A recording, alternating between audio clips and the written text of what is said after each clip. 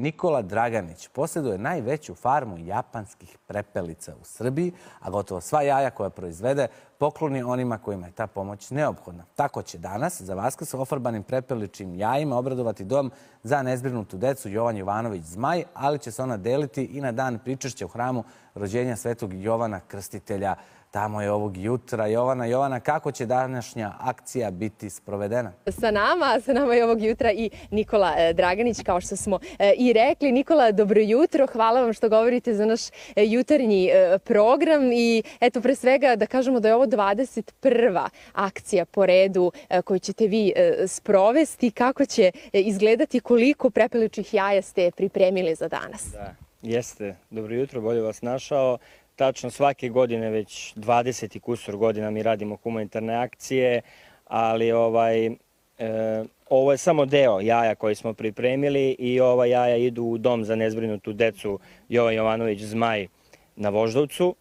Osim, e, ove, ove godine smo pripremili preko 3000 što ofarbanih, što sirovih jaja koje smo podelili i ne samo to, nego i inkubatore koje proizvodimo za jaja smo delili ljudima uh, koji nisu u mogućnosti da ih kupe. O, da kažem od početka, od početka ove godine sigurno desetine tih inkubatora. Sad mene zanima kako se vi uh, osjećate nakon što i ove uh, akcije sprovedete u, u delo? Pa ja zbog toga i radim ove humanitarne akcije, zato što je to u stvari motor koji mene pokreće i na, kažu da je najsrećniji onaj čovek koji je učinio srećnim najviše drugih ljudi. I to je ono što, što meni daje snagu i energiju e, i da radim sve te poslove.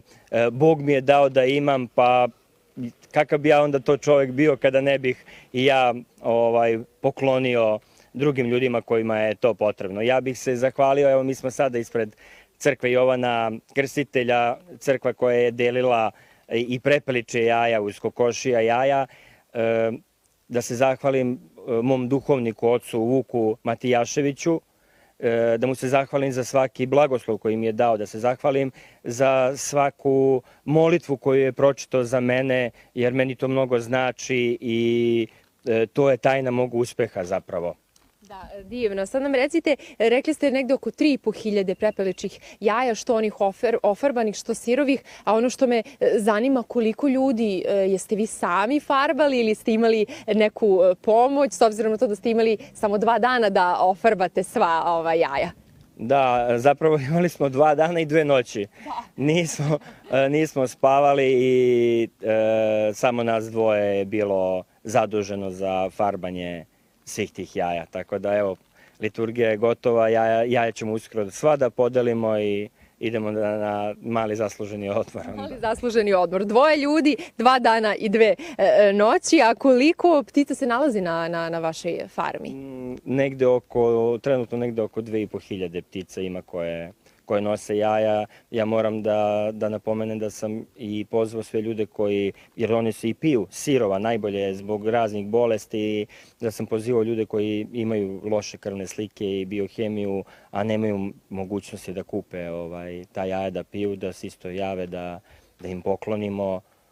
I tako da i to je isto imalo jako, jako dobar odjek. Hvala vam Nikola mnogo na ovom razgovoru. Sada spuštam da idete na zasluženi odmor i da lepo proslavite e, Vaskrs, odnosno današnji e, praznik. I eto kratko za kraj samo da kažemo da će e, Nikola eto 21. humanitarnu akciju sprovesti u delo i podeliti negde oko, kao što je rekao, 3,5 hiljade prepeličih jaja danas. Danilo? Svaka čast, svaka čast tvom sagovorniku. Hvala ti. Bila je ovo naša Jovana Pavlović.